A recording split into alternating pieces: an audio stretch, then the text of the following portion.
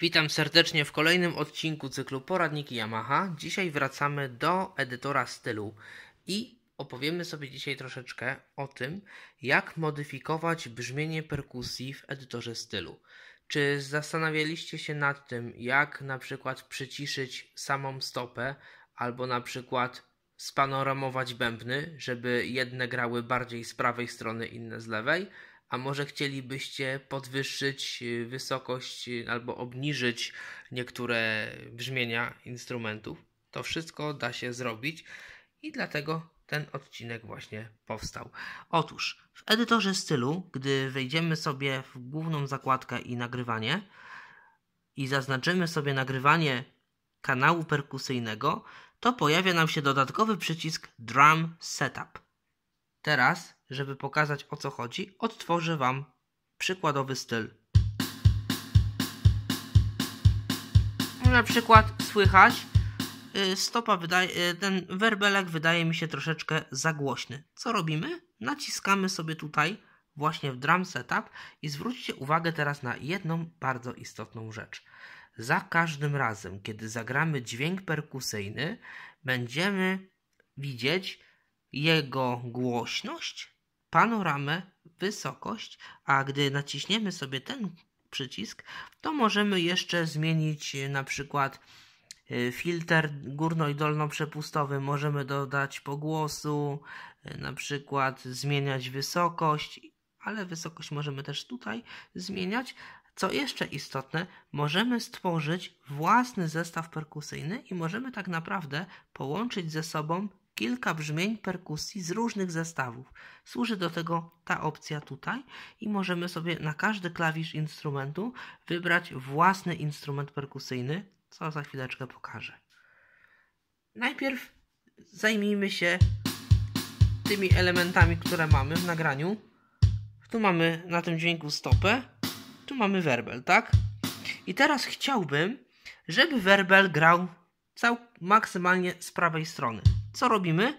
Otóż gramy ten dźwięk werbla i przestawiamy panoramę całkowicie w prawo.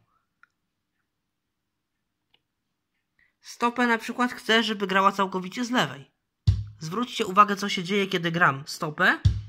Panorama się zeruje. Kiedy gram werblem, panorama przeskakuje nam na prawy kanał. Pokazuje, że jest to już spanoramowane. Gram stopę i panoramuję ją maksymalnie, moi drodzy, w lewo. A tu mamy wysokość i proszę bardzo, panuruje, panu, panoramujemy. I oto co nam się stało. Stopa gra z lewej, werbel gra z prawej.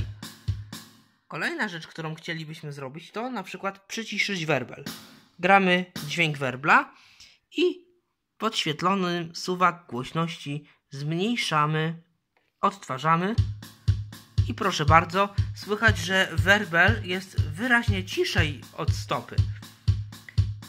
Ale to nie wszystko. Teraz wejdziemy, weźmy sobie w stopę, edycję stopy i zmieńmy wysokość samej stopy. Odtwarzamy i zmieniamy. Stopę podwyższam o podwyższyłem Naciskając y, dwa klawisze jednocześnie przywracamy wartość domyślną. Teraz możemy sobie tam brzmienie stopy obniżyć, tak?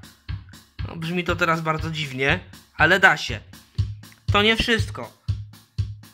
Może jakieś inne brzmienie stopy, a czemu nie? Wchodzimy w edycję i zmieniamy i zmieniamy, moi drodzy. Proszę bardzo inna stopa, nie ma problemu. Zmieniamy w ten sposób mapę brzmień perkusyjnych na klawiaturze.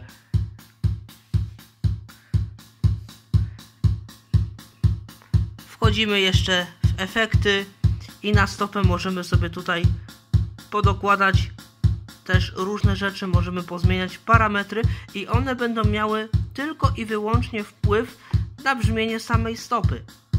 O, w ten sposób, proszę bardzo, możemy panoramować. Y, tak naprawdę to, co tutaj edytuję, to jest dokładnie to samo, co mamy tutaj, z tym, że kiedy wchodzimy tutaj, mamy pełną listę możliwych opcji, natomiast W tym widoku mamy trzy najważniejsze. Głośność, panorama, wysokość, a kiedy wchodzimy tutaj, mamy również możliwość panoramowania, zmiany głośności i wysokości, ale oprócz tego dochodzi nam filtrowanie wysokich częstotliwości, nakładanie pogłosu i wiele innych rzeczy. Mam nadzieję, że sprawa jest dla Was jasna i będziecie częściej korzystać z tych możliwości, a ja życzę Wam udanego tworzenia stylów. Z mojej strony to tyle. Zapraszam na mój kanał, zachęcam do subskrybowania. Do usłyszenia i do zobaczenia w kolejnych odcinkach.